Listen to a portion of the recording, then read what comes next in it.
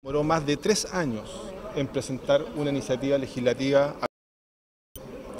Es el subsecretario Interior y responsable que solamente asistió una sola vez a la Comisión de Gobierno Interior para poder explicar los fundamentos del proyecto de ley.